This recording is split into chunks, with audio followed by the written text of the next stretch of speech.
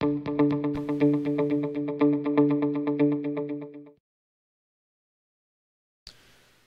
to Power Driven Diesel. In this episode, we're going to be testing the Borg Warner uh, SXE 364.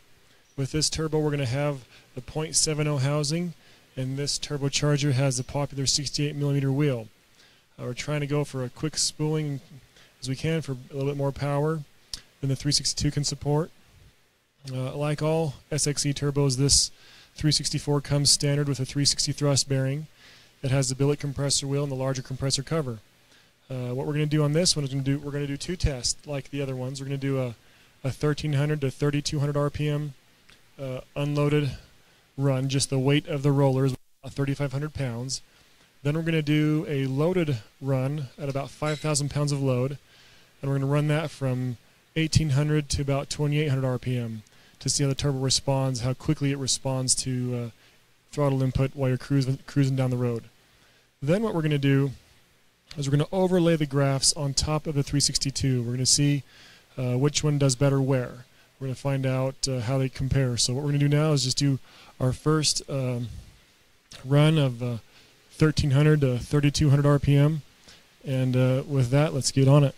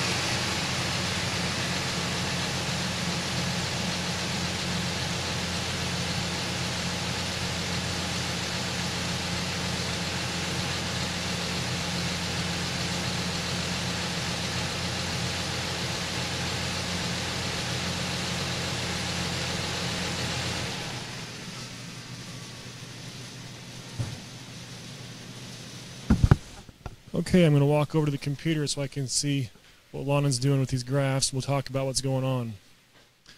So what was our peak power as we scroll over this thing? Where are we at here? Where's peak power? What RPM? What do we hit? 583, 582, 20 about 2500ish RPM. So this is we this is exact same day we tested the 362. We picked up about 20 horsepower, 25 horsepower give or take. It's a little bit hotter. We did the SXE 62 in the morning. It's a little bit hotter now. We picked up about 20 horsepower. Everything about this turbo is exactly the same as the 62 except the compressor. Same turbine housing, same turbine wheel. The only difference is a little bit more uh, compressor flow. What I want to do now, let's overlay the 362, the 364. We're going to try to overlay these same runs so we can kind of see uh, where one's better and worse and so forth. So let him pull this up one second. So on this, what we're looking at here is the 62 versus the 64. You can see the 62 spooled up quicker, which I could really feel that in the truck. I was kind of felt sluggish to me. It doesn't show a ton on the dyno, but you can see how much better it holds that torque curve as it goes past. And the, and the horsepower just doesn't fall near as fast as the 62. It's just simply have more compressor flow. And so um, at about 1700 RPM, you can see there's a pretty good difference in torque. The power is not too much different, so uh, it felt a little sluggish compared to the 62, but not not bad. Um, spooled up pretty good actually, and you can see here on the graph it's like a huge difference. The 62 comes on quicker, um, but overall there's not a gigantic difference in power. You know, before peak, after peak, the 64 definitely holds it. And uh, anyway, now we're going to go run a, do a test with the 5,000 pound load see how quickly it responds, and uh, we'll overlay that with the 62 as well, so we can get a real direct comparison. Again, the only difference in these is the compressor wheel. That's it. So uh, we'll see what kind of power it makes different as well.